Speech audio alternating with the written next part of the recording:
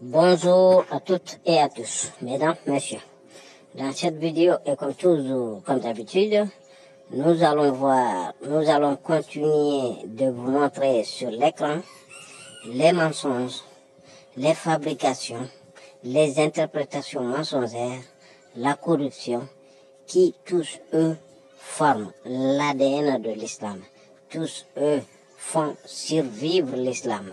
Tous eux font l'essence de l'islam, ajouté à l'ignorance de sa grande majorité, de la grande majorité de ses adeptes. Ici, nous allons voir la sourate 3 et son verset, la sourate 3, son verset 161.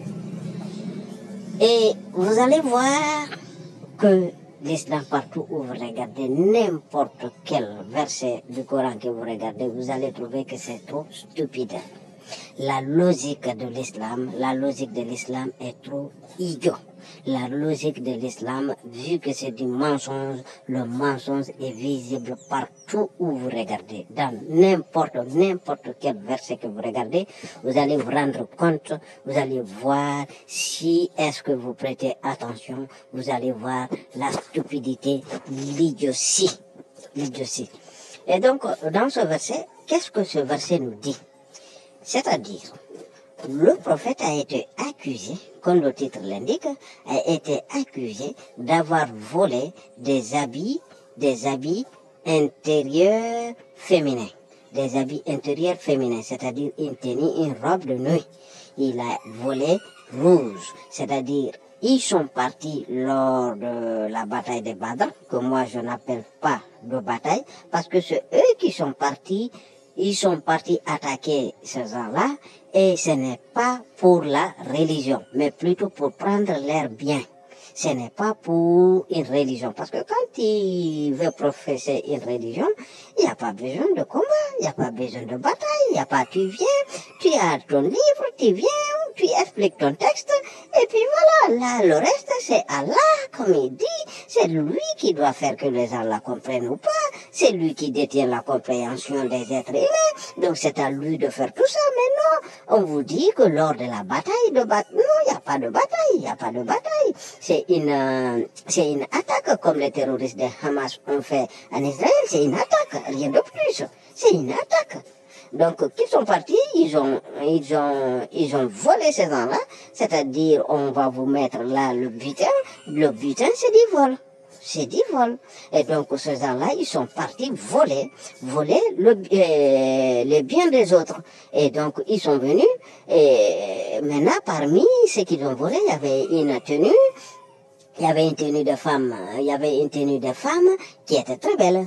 Et cette tenue, on dit qu'elle était de couleur rouge. Et donc, euh, après, lors maintenant du partage du butin, du vol, et ils se sont aperçus qu'il manquait cette tenue, que cette robe de nuit, c'est-à-dire cette tenue de femme interne, et, avait disparu. Et donc ils se sont, ils ont commencé, les gens ont commencé à parler, et ces gens-là qui parlaient, c'était des musulmans. Ces gens-là qui parlaient, c'était les compagnons. Ces gens-là qui parlaient, c'était c'était eux tous qui sont partis pour euh, faire cette bataille, ok? Et donc ils sont venus et ils ont, ils ont trouvé que cette tenue manquait et ils ont accusé le prophète. Ils ont dit que c'est le prophète qui aurait pris, pris cette tenue. Et donc, vous voyez, regardez la logique de l'islam. C'est-à-dire, ils sont partis. L'homme le plus noble est censé être le prophète. L'homme le plus sincère est parti, est censé être le prophète qui les a guidés, qui est leur chef, qui les a envoyés pour cette bataille. Et l'homme le plus correct, l'homme le plus bon, l'homme le plus gentil, l'homme le plus de tout ce que vous voulez, ils n'ont trouvé personne d'autre qu'accusé que celui-ci. Ils l'ont accusé à lui. Donc ça, généralement, ça ne passe pas dans nos sociétés. Ça ne passe pas dans nos sociétés. Quand il y a de vol, on va accuser le voleur. C'est lui qui a la réputation d'être voleur. Quand il y a du bon, on va, on va faire appel aux personnes que nous pensons ou nous croyons être bons. Mais là, on a volé quelque chose et ils ont accusé directement, tout le monde a accusé directement le prophète, que c'est le prophète qui aurait pris, cette tenue. Pourquoi? Il a la réputation de d'être un coureur de jupons. Et donc, vu que la tenue la tenue est une tenue intérieure, interne de la femme, et si cette tenue disparaît, et il est le mieux placé pour voler ça. Il est le mieux placé pour voler ça, parce que rien qu'avec la tenue, il est excité. Donc, voyez, tout, ce sont ces logiques-là. Et donc, Dieu ça, Allah pourquoi lui, il va nous mettre dans un livre qui est censé être là des milliards d'années? Parce qu'il n'y a pas phénomène si on nous dit que ça va exister. Moi, je vous dis tout de suite qu'il n'y en a pas. Et un livre qui va rester là, même si depuis 1400 ans maintenant, depuis 1400 ans maintenant, ce livre-là, il nous met ça ici. Quelle est l'importance de ce verset alors De ce verset alors dans la foi de notre humain? Ce verset-là que nous avons qui nous dit le suivant. Un prophète n'est pas quelqu'un à s'approprier du butin.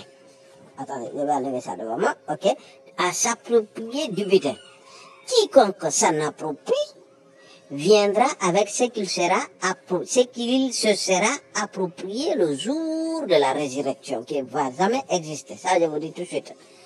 Alors, à chaque individu, on retrouvera pleinement ce qu'il a, ce qu'il aurait acquis. Et ils ne seront pas lésés. Donc là, c'est-à-dire qu'ils ne seront pas, qu'ils ne seront pas portés préjudice. Ok? Voilà. Qu'ils ne seront pas portés préjudice. Donc ici, qu'est-ce que, est, il est où le problème?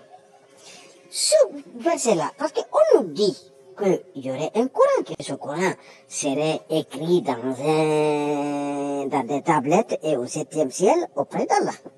C'est ce qu'on nous a dit. Ça, ça s'est passé sur la terre ici, dans, dans, dans un plein désert en Arabie, au septième siècle. Au septième siècle, ça s'est passé, et non pas au septième ciel. Donc ça, ça s'est passé au septième siècle. Dans un ciel, dans un, dans un, dans, dans un désert, dans un désert avec des bédouins, avec des bédouins ignorants et clochards.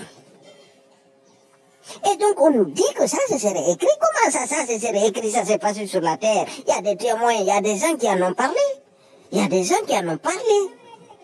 Et donc là, ça et, et, la bataille, elle s'est passée où? La bataille s'est passée sur la terre. Pourquoi? Pour instaurer l'islam. Donc on ne peut pas. Pourquoi Comment cela serait écrit des, des, des, des, milliards d'années avant Et quel est le sens? Il n'y a pas de sens. Il n'y a pas de sens. Rien n'est censé en islam. Tout est, tout est, tout est, tout est, tout est stupide et. Tout est stupide et. Vous voyez bien. Parce que là, si on nous dit que ça c'est écrit, ok, ça c'est écrit. Donc pourquoi Allah au lieu de nous envoyer ce, ce, ce, ce, ce verset-là, pourquoi il ne nous dit pas directement qui a volé? Parce que c'est de ça il s'agit. La question, les, les rumeurs et tout ce qu'on en parle, c'est que c'est le prophète, c'est son prophète qui a volé. Et lui, il vient nous dire qu'il n'est pas, qu'il n'est pas d'un prophète de s'approprier d'un butin. Non, ce n'est pas ce qu'on t'a demandé, ce n'est pas de ça les gens parlent. Les gens ne demandent pas est-ce que c'est bon qu'un prophète s'approprie ou non. Les gens ont dit directement que c'est lui qui a pris. Voilà, les gens ne posent pas cette, n'ont pas posé la question de savoir si le prophète l'a pris, non, si est-ce qu'un prophète doit prendre ou non, ou pas, c'est pas ça. La question était, c'est-à-dire la rumeur qui courait, est que c'est le prophète lui-même qui l'a pris. Et donc, il pouvait, Allah, au lieu de nous envoyer ces versets, il pouvait nous dire qui est-ce qui a pris Qui est-ce qui a pris la tenue et non pas de nous dire qu'il n'est pas d'un prophète de s'approprier, non. Donc là, il est venu encore nous mettre dans la merde. Il est venu encore nous mettre dans, dans le doute. Il est venu encore nous mettre encore dans, dans, encore plus de... Il, il est venu tout mélanger. Pourquoi? Parce que là, 1400 ans après, on ne sait toujours pas qui est-ce qui a volé ça. On ne sait toujours pas qui est-ce qui a volé.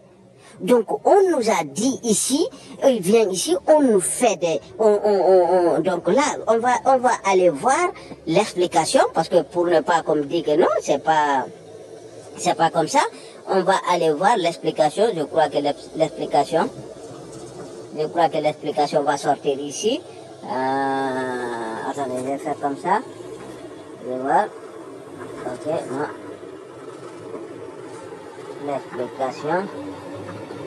On va voir, il est où? Non, euh, normalement, il devrait, il devrait sortir là. Il devrait sortir le, le tafsir. Attendez, on va venir ici. Ok, on met ça. Voilà, ok, on met ça. Et on vient, on regarde maintenant l'explication. Ok? On regarde maintenant l'explication. Donc 60, ça c'est 60. Donc vous voyez et il est où? C'est le 61, là, ça c'est le 60. Et là, maintenant, on a le 61. OK? Là, on a le 61. Et donc là, c'est la traduction. Et là, maintenant, c'est l'explication, c'est-à-dire l'interprétation. C'est pourquoi le verset. Et on nous dit une autre chose. On nous dit que le verset, que, ça c'est sur des tablettes au septième, auprès d'Allah au septième.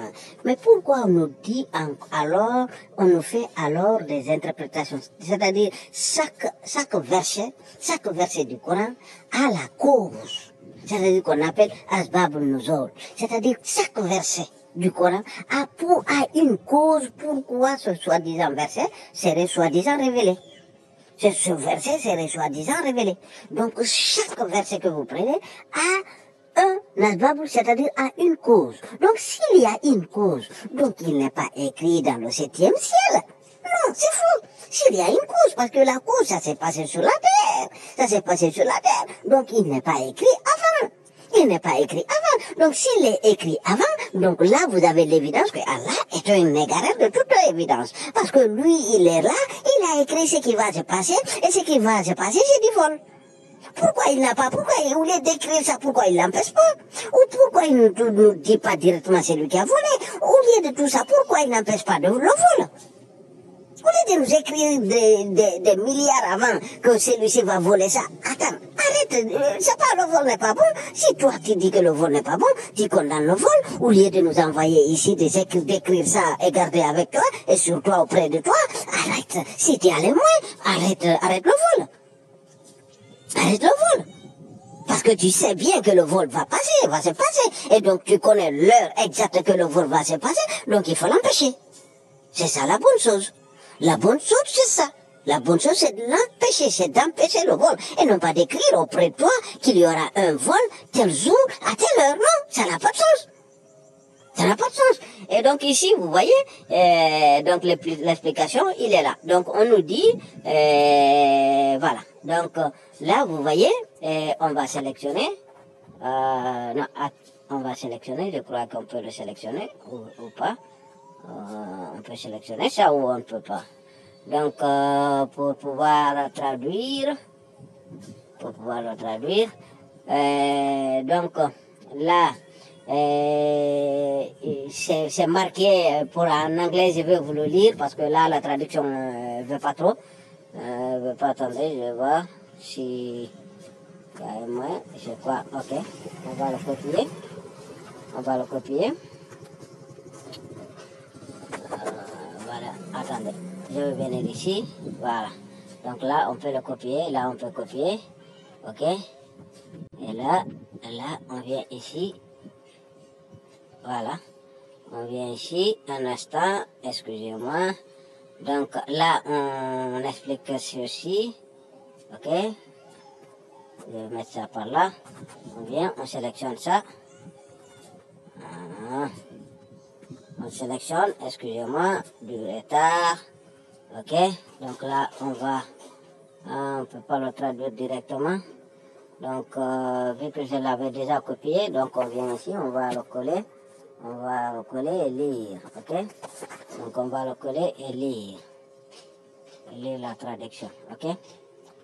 Donc, attendez, je vais prendre le français, bien sûr. Ok, voilà. Il n'appartient pas à un fraudeur, mais celui, ok, à frauder, ok, ne sera pas, ok. Et Sahih international, ça c'est les traductions, ok. donc là, les interprétations, là vous avez Ibn Kathir, pourquoi il sort pas, il y a il a la ligne qui sort ici. Euh, Lorsqu'un tissu de velours rouge disparut le jour de, de Badr, ok, Badr, et que certains hum, ok, disait peut-être que non, il n'y a, y a pas de peut-être.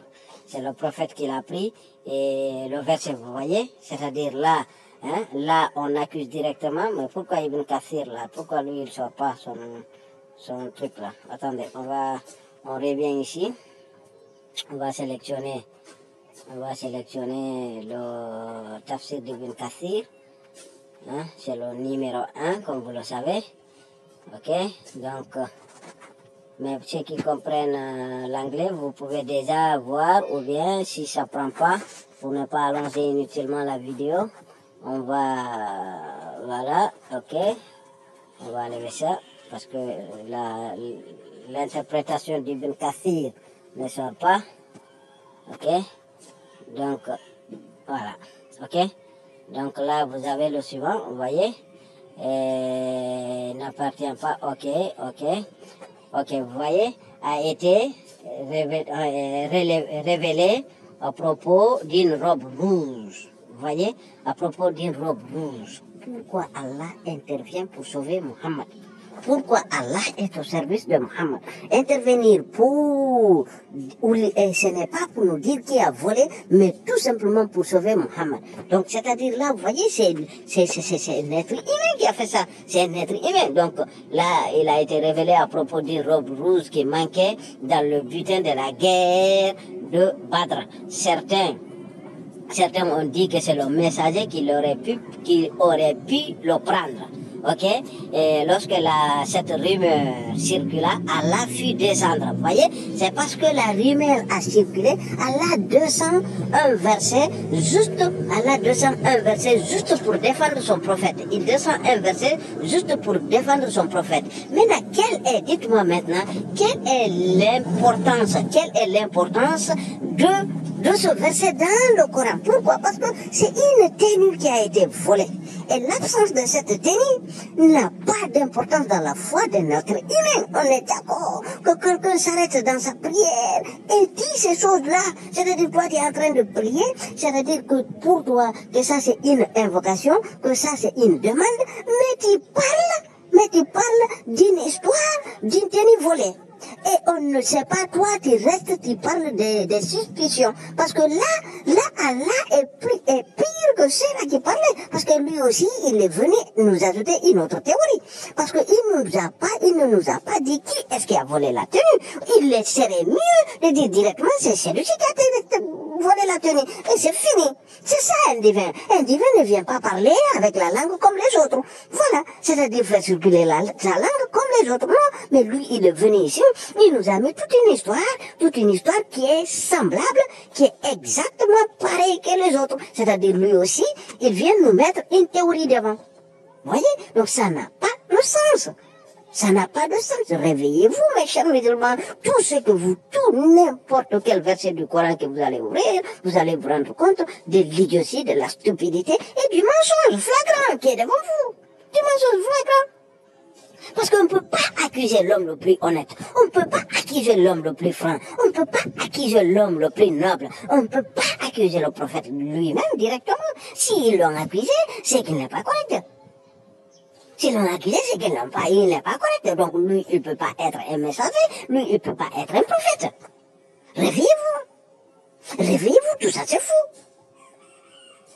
Tout ça c'est fou. Ça on n'a pas, on ne voit pas où, par où le prendre. Parce que c'est serré, on nous dit que c'est serré au septième siècle. Au septième siècle. Et au septième siècle, ça c'est quelque chose qui s'est passé au septième siècle. Ok? Et dans un désert par des bédouins, des, igno- des ignorants. Des ignorants. Vous, vous, vous, vous- croyez tout ça là? Vous croyez cette idiotie, cette stupidité? Ok? Hein? Au lieu de me dire directement qui a volé, mais non, c'est pas le cas. Et donc, mesdames, messieurs, donc là, je crois que vous voyez bien, comme moi, en tout cas, je le vois ici, et vous voyez bien que ça, c'est humain, ce n'est pas divin. Le divin ne viendrait pas ça dans un livre qu'il va nous dire de lire, de réciter dans notre foi. Parce que ça, ça ne vient pas de la foi. Ça n'a aucune relation avec la foi. Un vol, quelque chose qui a été volé, et on ne sait même pas qui est-ce qui a volé. Donc toi, tu viens là, tu nous fais, tu nous fais augmenter la rumeur. C'est-à-dire, la rumeur était entre entre quelques centaines de bédouins. Maintenant, la rumeur est circulée dans la bouche des milliards de musulmans. Cette rumeur circule dans la bouche des milliards de musulmans parce que personne, jusqu'à nos jours, ne sait qui est-ce qui a pris cette tenue. Personne. Personne. Donc, faire circuler, faire circuler une rumeur est un délit.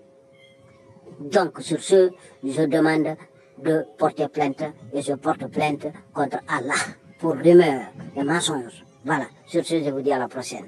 Merci.